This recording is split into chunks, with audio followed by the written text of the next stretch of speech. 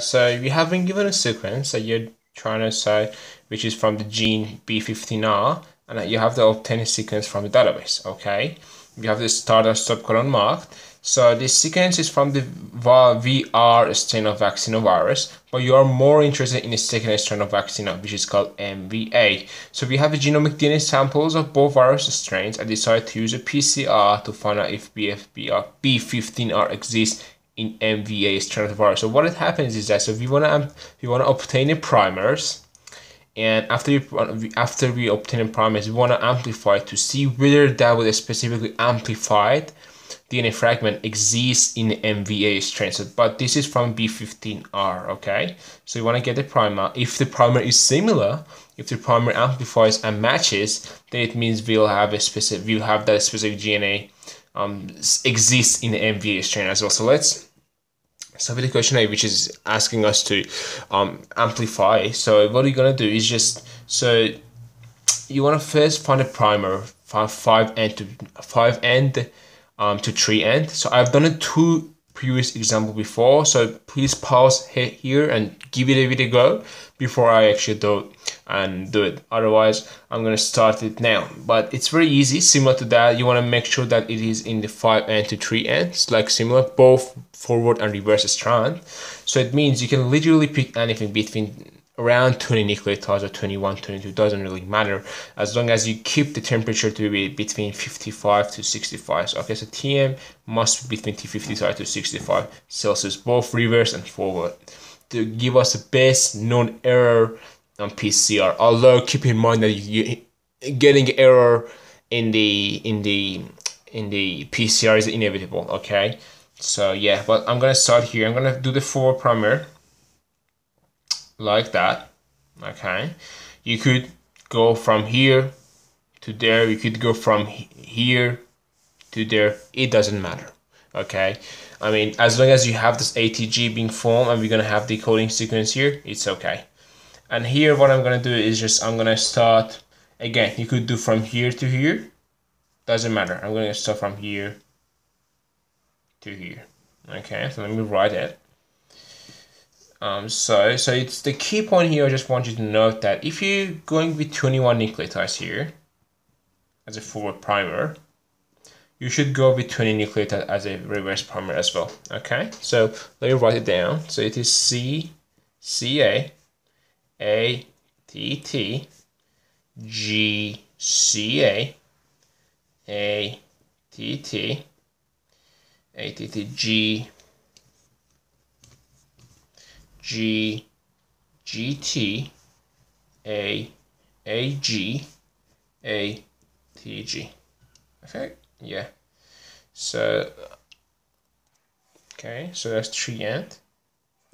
So it's a forward so a TM for the forward, which is by the way in this, so what's a TM.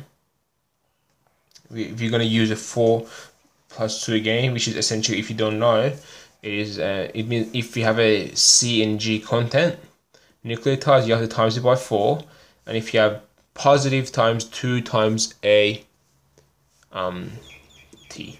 Okay, that's essentially like that. Okay. So, having that, it means, let me, so TM would be, then 4 times how many CGs we have? 1, 2, 3, 4, 5, 6, 7, 8. We have 8 plus 2, 1, 2, 3, 4, 5, 6, 7, 8, 9, 10, 11, 12, 13. Okay then that would give you uh, plus 2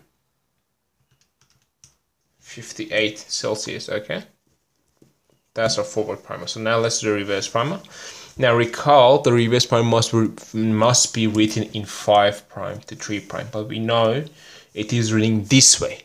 If you want to make it 5 prime to 3 prime because recall this is 5 prime right? You have to because you want to get it in this direction like in this direction you have to make it reverse complementary what do i mean by that so if it's c here it would be g If it's A here, it would be T. If it's G, G there, it would be C. Okay, it's like that. If it's T there, it would be A. If it's T there, it would be A. If it's C there, it would be G. If it's T there, it would be A. If it's if it's A there, it would be T. If it's C there, it would be G. If it's A there, it would be T. If it's T there, it would be A. If it's G there, it would be C. If it's T there, it would be A, A, C, T, C, A, T, C, A. Okay, T, C, A. So that's our reversal. Let's again count it. it would be one, two, three, four, five, six, seven, eight. Okay, so that's essentially similar to that, which is would be like that, 58 Celsius temperature. So now, lastly, it says secures one above circle, the first one and the last one. So first circle, the first and last circle. The first one would be this one there, and the last one would be this one there. Okay, so this is the last. This is the first. Okay. Good. And work out the work out the good annealing temperature. Annealing recall is the one the temperature you want to bring the two double standards together. Okay. So annealing temp. It is usually considered to be Tm minus 5 Celsius. So here we can say that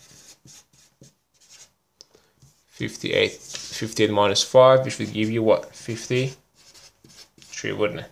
So that's our best annealing temperature that we have to program our um, um, um, we have to program our PCR machine to do so. So I hope you guys made this video beneficial. This is my last video going through a PCR primer and design etc. If you have any suggestion, please ask me. I'm more than happy to do more than happy to do video on. And thank you for watching. And subscribe.